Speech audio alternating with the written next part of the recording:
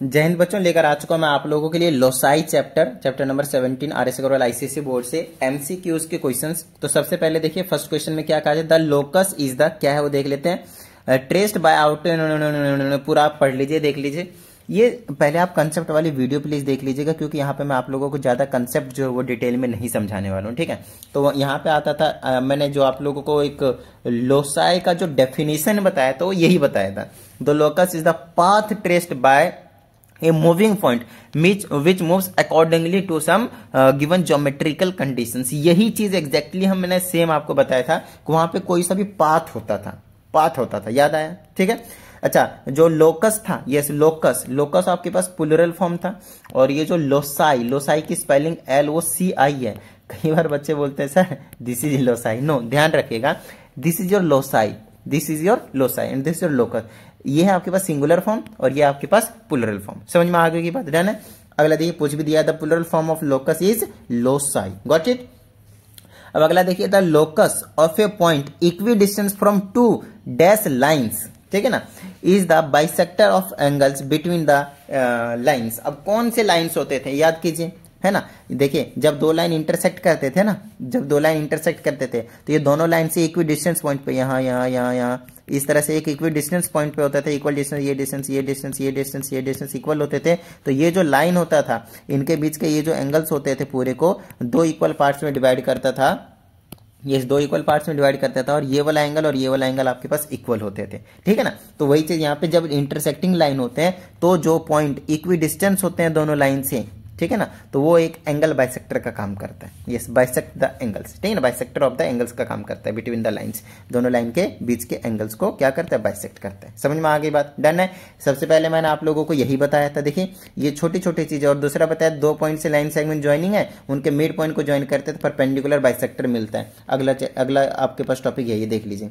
Question मतलब वही है। The locus of a point equidistance from two given point दो गिवन पॉइंट से एक यहाँ लीजिए, एक यहाँ पे ले लीजिए। इज़ द वो क्या है आपके पास? Of the line joining the points तो इसके मिड पॉइंट्स को, है ना? From the this this this from two given points अगर इसे इक्वल डिस्टेंस पे होते हैं, जैसे ये लाइन मैंने ज्वाइन कर दिया, इसके इक्वल डिस्टेंस यहीं पे होंगे, यहाँ से यहाँ पे इक्वल डिस्टेंस होंगे इक्वल डिस्टेंस इक्वल दोनों पॉइंट से इक्वल डिस्टेंस पे, नीचे भी इक्वल डिस्टेंस पे। जब इस लाइन को जब हम ज्वाइन करते थे तो वो एक परपेंडिकुलर बाइसेक्टर का काम करता था। याद आया? डन है। ये सारी चीज़ें हमने आपको करवाया हुआ है तो ज़्यादा टेंशन लेने की ज़रूरत नहीं है। बस एक रिवीजन के लिए मैं आप लोगों को फटाफट करवाते जा रहा हूँ, ठीक है? Next the locus of a point which is equidistance from two parallel straight line दो पैरल स्ट्रेट लाइन है, और दोनों पैरल लाइन से इक्वल डिस्टेंस पे होना चाहिए वो वाला पॉइंट और मूव कर रहा है इन स्ट्रेट लाइन मतलब 100 परसेंट बीचों बीच में यहाँ ले लेता हूँ मैं, फिर यहाँ ले लेता हूँ, फिर यहाँ। बिल्कुल इक्वल डिस्टेंस पे रहना चाहिए पैरल लाइन के स्ट्रेट लाइन में होना चाहिए, और बिल्कुल बीचों बीच में बोला है। तो ये जो लाइन होगा, वो क्या होगा? आपके पास पैरेलल होगा, दोनों ही लाइन के। ठीक है? गिवन लाइन के पैरेलल होगा। समझ में आ गई बात? ठीक है? चलिए, आगे की बात कर लेते हैं क्वेश्चन नंबर सिक्स की। The locus of the centre of a wheel तो व्हील ये रहा मेरे पास, मान लीजिए ये मेरे पास क्या है? एक व्हील है, ठीक है? ये एक, मान लीजिए एक व्हील है मेरे पास। Which moves on a horizontal road तो हॉरिजॉन्टल रोड ले लीजिए, ये मूव कर रहा है। Is a straight line parallel to the road at a distance equal to देखिए तो आपको पता होना चाहिए the locus of the centre of the wheel centre of the wheel ये है, ये मूव कर रहा है। ये व्हील आगे गया होगा, मान लीजिए यहाँ आया होगा तो ये सेंटर यहाँ आया होगा व्हील आगे गया होगा सेंटर यहाँ आया होगा व्हील आगे गया होगा सेंटर यहाँ आया होगा तो ये मूव कर रहा है। कैसे? इस तरह से पैरेलल टू द रोड है ना? पैरेलल टू द रोड तो हमें बताना है कि इन पैरेलल क्या बताना है? At a distance is equal to parallel road to the and at a distance is equal to the of the wheel देखिए व्हील के किसके इक्वल इनके बीच का डिस्टेंस ये देखिए, ये वाला डिस्टेंस ये वाला डिस्टेंस ये वाला डिस्टेंस कहीं ना कहीं आप रेडियस ऑफ़ द व्हील कह सकते हैं। बोलिए हाँ या नहीं? तो यहाँ पे आ जाएगा आपके पास रेडियस ठीक है? रेडियस ऑफ़ द व्हील तो ऐसे ऐसे चीज़ें आपको थोड़ा सा बनाकर समझने की ज़रूरत है। हालाँकि ये सेम कंसेप्ट हमने आपको समझाया हुआ है। यस ये सेम कंसेप्ट हमने आपको समझाया हुआ ठीक है?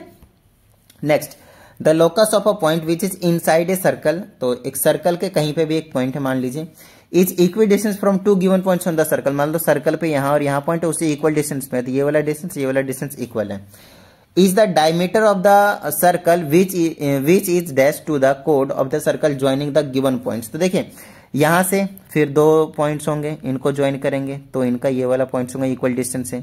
फिर ये वाला बनाएँगे इक्वल डिस्टेंस से, फिर ये वाला बनाएँगे इक्वल डिस्टेंस पे। ऐसे चलता जाएगा तो हमारे पास क्या निकल कर आ जाएगा डायमीटर और ये जो डायमीटर होगा, वो देख लीजिए इन कोड पे क्या है? ये परपेंडिकुलर परपेंडिकुलर बाइसेक्टर कह देंगे आप, ठीक है ना? परपेंडिकुलर तो है ही, साथ में बाइसेक्टर भी होगा।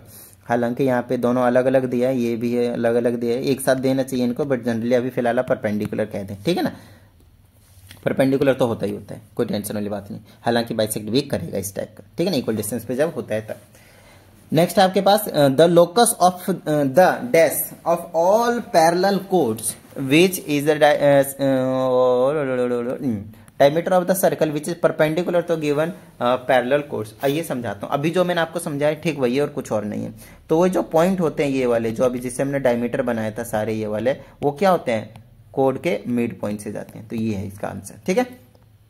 नेक्स्ट बड़ा ही अच्छा क्वेश्चन है, देखिएगा, समझिएगा, ठीक है? इसमें कहा जाता है locus of a point which is equidistance from two given concentric circles concentric circles क्या होते हैं? पहला सर्कल दूसरा सर्कल जिनका सेंटर कॉमन हो, उनको हम कॉन्सेंट्रिक सर्कल्स कहते हैं। मान लीजिए, पहले का रेडियस आर वन है, दूसरे का रेडियस बड़ा वाला, ये वाला, पूरा का पूरा, कितना आपके पास आर टू है?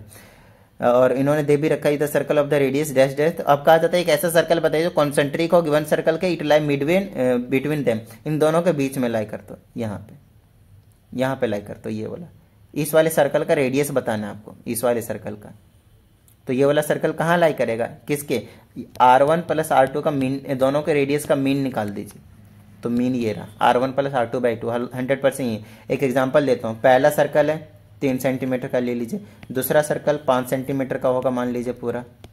इनका मीन निकालिए तो three plus five divided by two कितना हुआ एट बाई टू कितना आया फोर मतलब अगला जो सर्कल होगा, वो हंड्रेड परसेंट इनके बीच में लाया करेगा, चार सेंटीमीटर रेडियस वाला।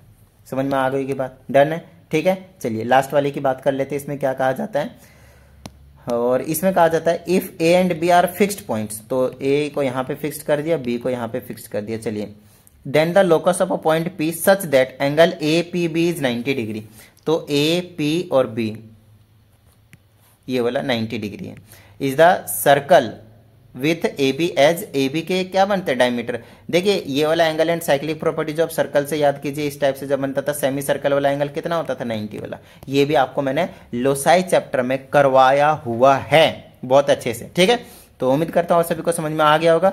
और अगर ऐसा है तो फटाफट वीडियो को लाइक कर दीजिए। साथ ही अगर आप इस चैनल पर एक नई स्टूडेंट है, चैनल को सब्सक्राइब करके बेल आइकन ज़रूर प्रेस कीजिएगा। चलिए मिलते हैं अगली वीडियो में। प्रैक्टिस करते रहिएगा। जय हिंद।